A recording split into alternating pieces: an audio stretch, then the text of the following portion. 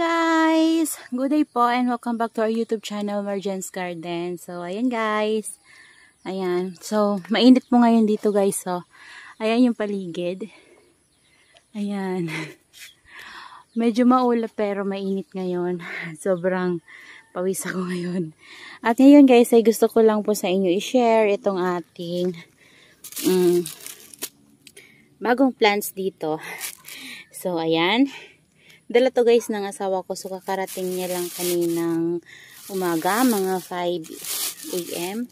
Yan, dumating siya from Manila. Katapos lang ng training niya.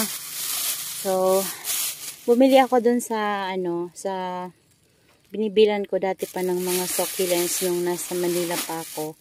So, bumili ako dun ng uh, this one. Ayan guys, so, share ko lang sa inyo ito sobrang hirap siya nito dalhin kasi mabigat talaga guys. Ayan no ano lang to guys na binili ko? 2 kilos ng vermicast at uh, 10 kilos ng pamis. So ayan. Meron na naman tayong pamis na magagamit sa ating mga succulents at this one. So gusto ko ito imimix ko siya sa gagawa ako ng ano, ng potting mix na gagamitin sa aking mga succulents na darating. So, meron tayong uh, order ng mga succulents. Meron tayong darating ng mga succulents soon. So, ayan siya. Gagamitin ko to guys uh, sa kanila. Ayan. Marami tayong pamis. 10, 10 kilos to guys. So, ayan. At ito, nagtitinda din kasi siya guys ng mga, ayan yung mga tinda niya yung ganito, and then this one, eto hindi ko alam yung ID nito, so ano na nga siya oh, sobra na, kailangan na niyang ano, ng water, kasi tingnan nyo, kulubot na yung kanyang, ayan, kulubot na yung kanyang mga leaves, and also this one, para siyang mga pinya, aray, masakit yung kanyang tinik at matigas siya, Ayan siya, oh. Medyo tabingi lang ito. Pero may baby siya na dalawa sa ilalim. So, tingin ko guys, ito, propagation lang ni ito ni Ma'am Lynn. So, hi Ma'am Lynn. If you're watching, thank you po dito sa plants. And this one po ay, ano, uh, ayan, nilagay niya na sa pot. Ayan siya. Nilagay niya na sa pot niripat na niya. Kasi alam nyo guys, nabili ko to sa kanya nung December pa. And then, nung nag-training kasi nun yung asawa ko. At pahabol na lang to siya. Hindi, hindi to guys nakahabol kasi walang, December nun eh, magpapasko nung umuwi yung husband ko dito sa, ano, natapos yung training niya, umuwi dito sa Bicol. So, malayo kasi from kasi ang location niya ay sa Pasig. So Pasig to uh, PTIX ay walang nag ano walang nag a-accept ng ano ng delivery. Walang nag-a-accept ng lalamu papuntang PTIX so hindi siya naisama. So ang sabi ko sa kanya so baka mga January na ma'am. So ngayon ko lang baka, baka mga January na lang siya makuha kasi January na ulit ang luwas ng asawa ko para sa kanyang susunod na training. So, ayan.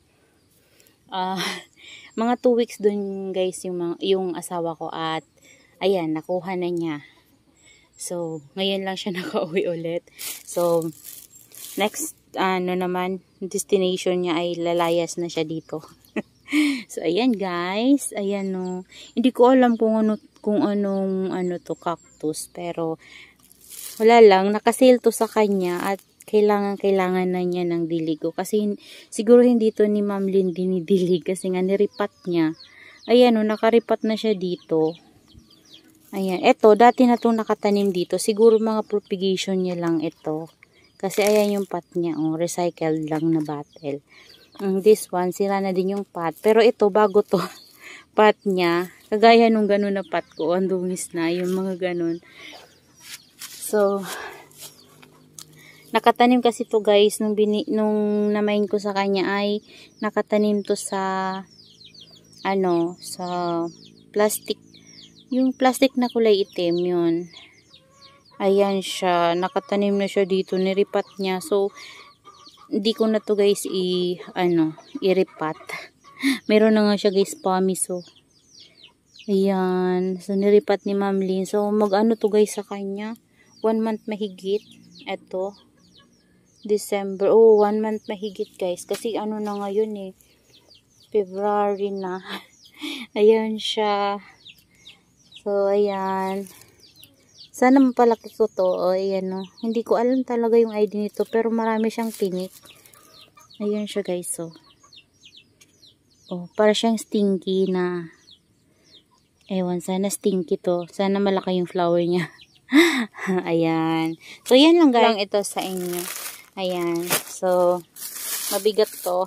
Kasi nasa 12 kilos to. Itong, itong, ano na to. Kasi 10 kilos itong pamis. So, ayan lang guys. Ayan. So, ayan po.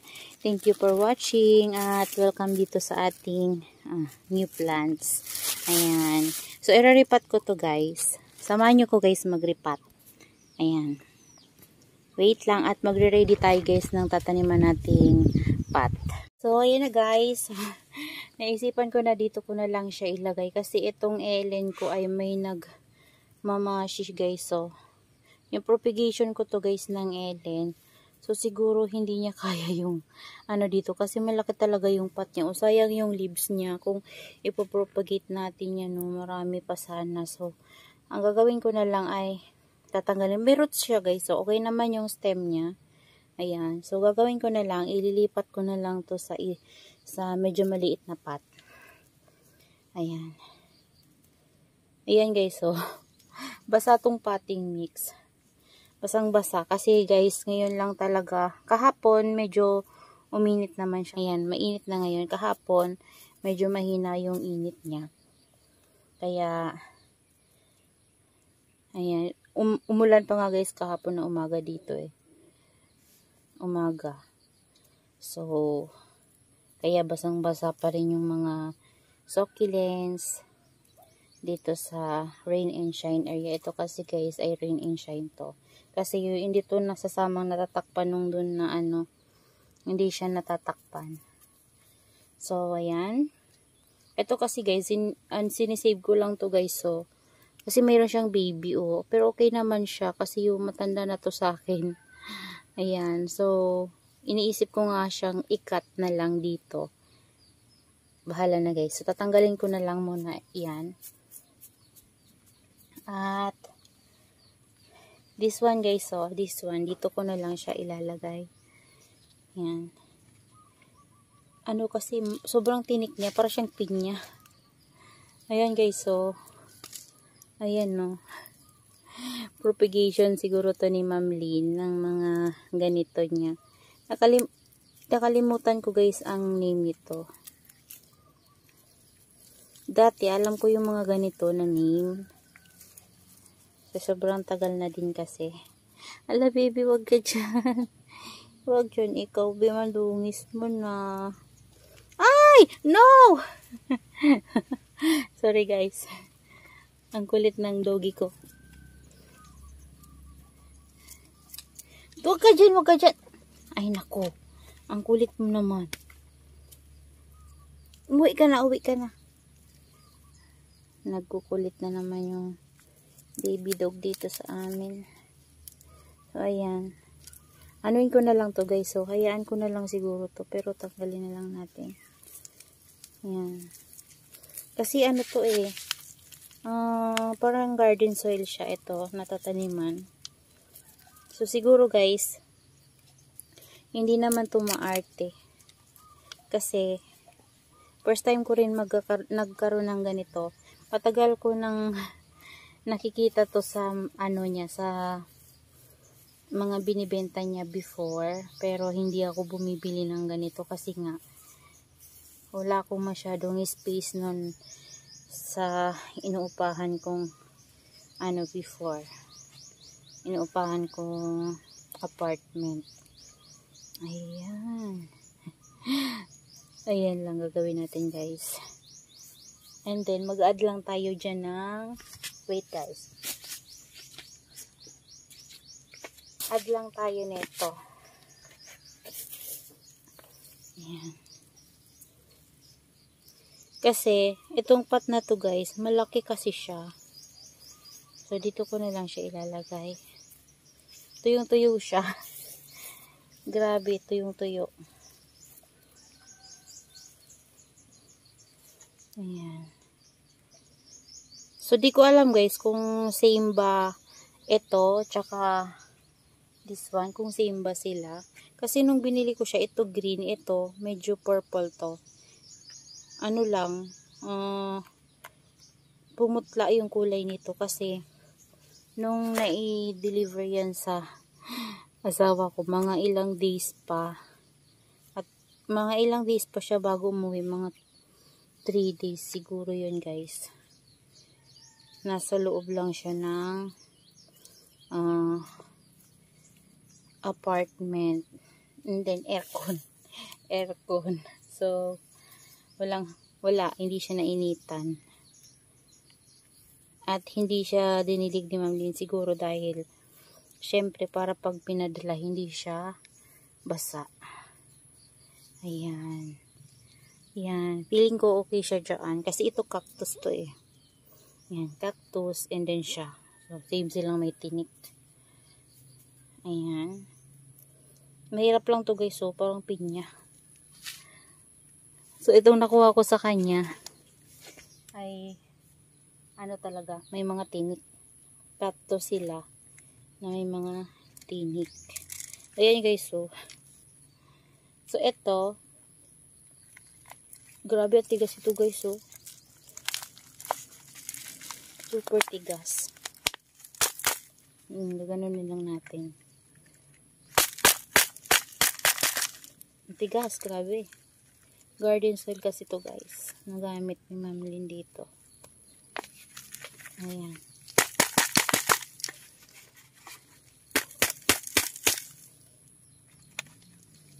Grabe ang tigas.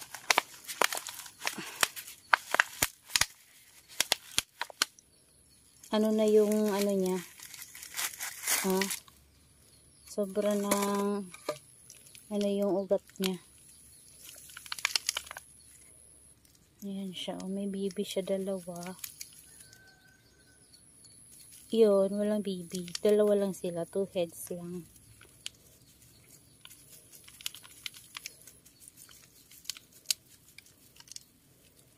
Ayan, no. Super ano ng roots niya, guys.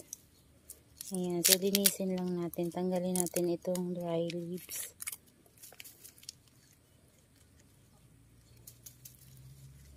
And then, saan ko ba ito ilalagay?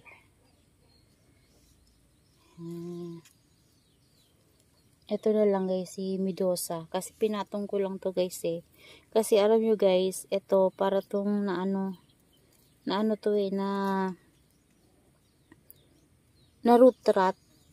Nagrat yung kanyang ano, yung tawag dyan yung ugat niya nagrat tapos kinat ko din ayan siya. Ayan tuyo naman ito natuyo to kasi ilang araw ko siya bago ano itinanim. Din in, in air dry ko muna siya. And then ewan ko guys hindi siya nagkakaroon ng roots. Hindi ko alam siya lang talaga.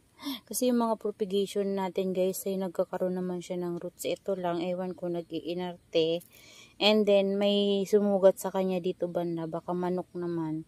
Ayan o, nasugat siya. And yan. Ang lagkit ng ano niya. So, itatanim ko na lang to sa ibang pot.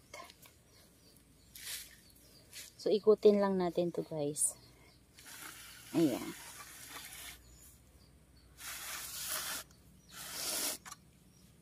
At dito natin itatanim itong isang to.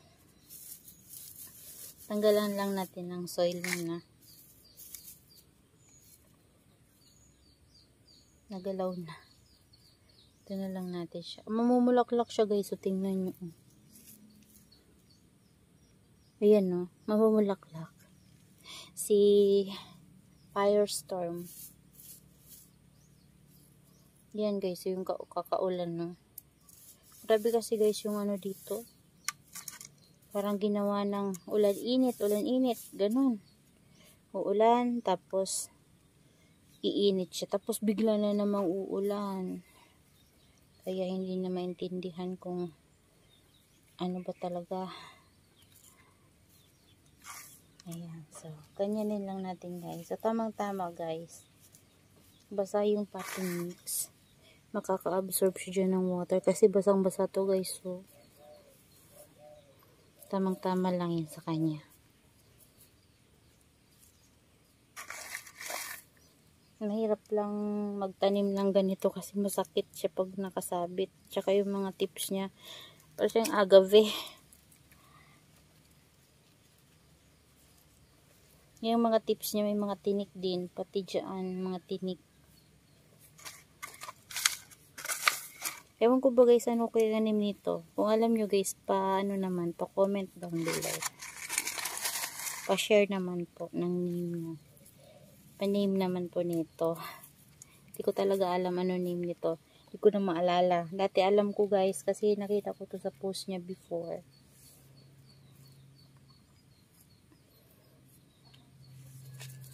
So, ayan.